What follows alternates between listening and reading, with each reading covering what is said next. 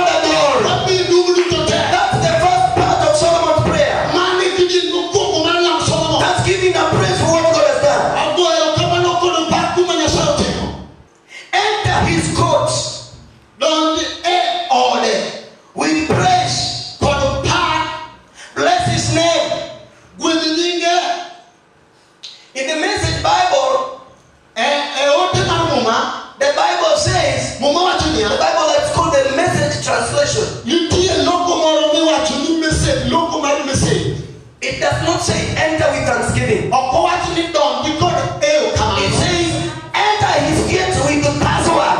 ó wá tún ní dán ní pé lọ́la ń gáyé kò ní ẹ̀ àtẹ́ni wá tún lọ sí yìí. password. Twitter, Instagram, Facebook and all those things. so God has so many things.